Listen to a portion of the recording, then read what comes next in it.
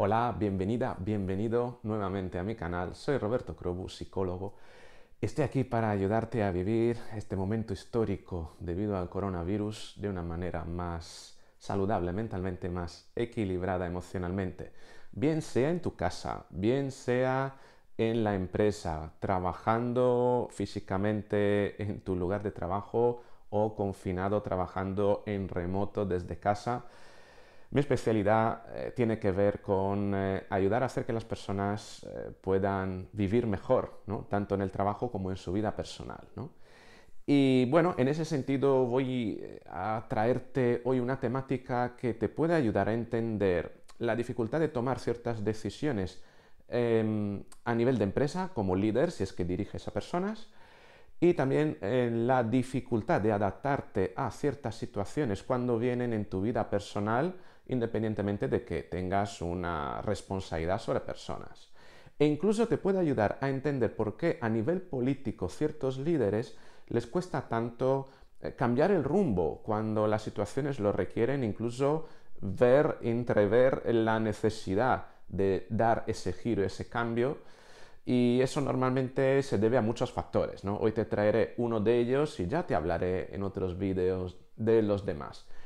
Y el factor que te quiero, del que te quiero hablar hoy es el exceso de foco. Es un tema que, em, con el que podemos atar dos cuestiones que has estado viendo en otros vídeos anteriores. El tema del mindfulness, que es una especialidad mía, y el tema también del trabajo en empresas, del liderazgo, que es otra, otra especialidad. El exceso de foco y el foco, por así decirlo, es decir, el ser capaz de eh, enfocar, mantener la atención, en un determinado punto, ¿no? sobre un determinado elemento durante mucho tiempo es una cualidad que se entrena en el mindfulness, en la atención plena, como se traduce mindfulness en español, atención plena. ¿no?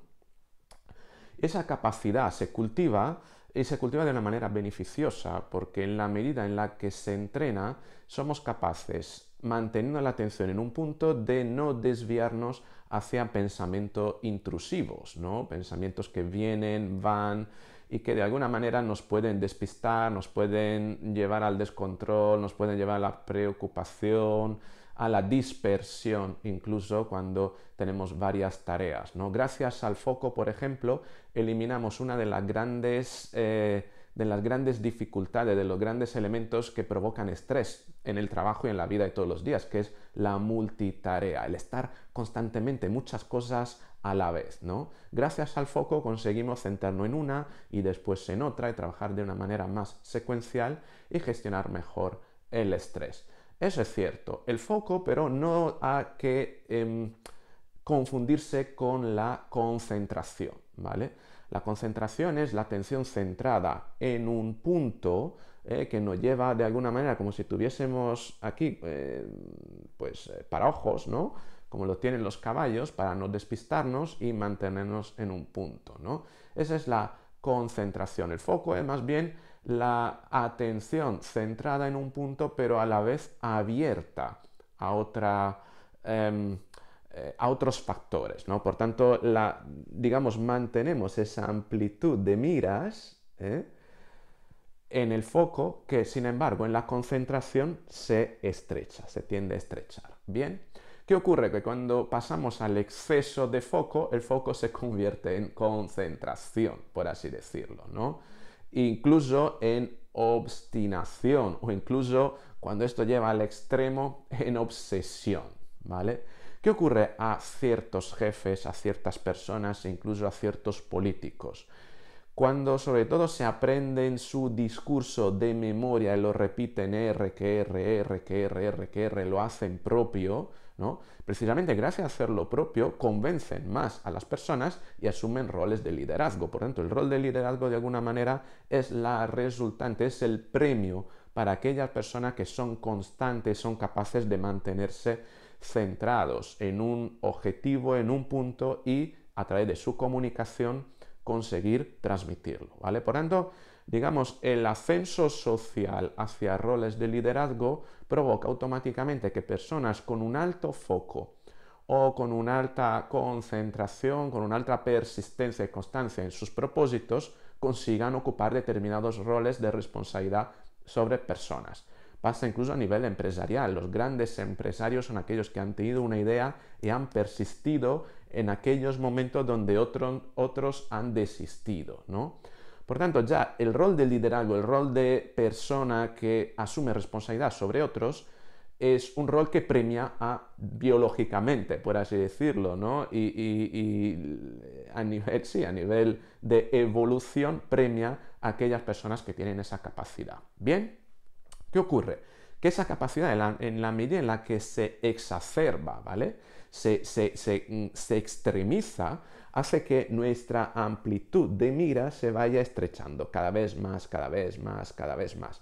Y además el refuerzo social de, eh, por parte de otros de premiarnos con su atención por ponernos, digamos, en, la, en la cúspide de la pirámide de la toma de decisiones, hace que eso se refuerce aún más. ¿Bien? Entonces, ¿qué ocurre? Que el foco se convierte en exceso de foco, es exceso de foco, según las personas, en excesiva concentración, obstinación o obsesión, ¿vale? Con esos grados de extremidad. Es muy fácil, por tanto, que roles de liderazgo estén ocupados por personas que tiendan ese camino, que, que, estén en ese camino hacia el final. No todos los jefes, no todos los líderes son obstinados y son obsesivos, pero la gran mayoría de las personas que ocupan roles de liderazgo, eh, debido precisamente a, esa persistencia necesaria, lo son. Bien, ¿qué ocurre? Que claro, entonces, persona con esa eh, gran determinación, con este foco tan centrado, con ese exceso de foco, son, tienen menos capacidades, por así decirlo, de ver llegar cosas y hacer oídos a otras voces, a otras cuestiones que, eh, digamos, están fuera de sus discursos. ¿no? Por tanto, todo aquello que está fuera de su discurso por alguna, de alguna, por alguna razón, bueno, por la razón que te estoy comentando, eh, se queda fuera, no entra, se quedan como impermeables o más impermeables a ideas nuevas. ¿Qué ocurre? Que cuando suceden situaciones como la actual, es normal que cualquier gobierno, sea del partido que fuere, y no es por tener o ser de un partido, es por eh, tener esas características de mayor foco, mayor obstinación, ¿vale?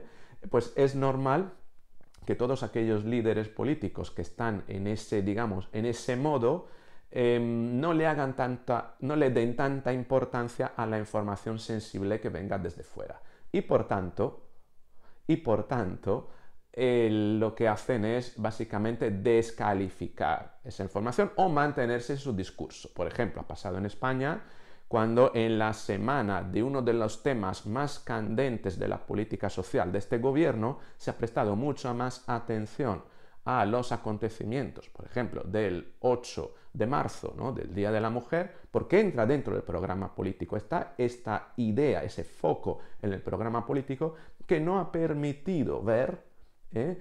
otra información o darle importancia, verla, sí que la han visto, pero no le han dado tanta importancia por ese exceso de foco en su propio programa, en su propio discurso. En otros estados ha pasado lo mismo mm, para otros temas. Pensemos, por ejemplo, en Estados Unidos con, el discurso, digamos, eh, supremacista, por así decirlo, de los americanos primeros de Donald Trump.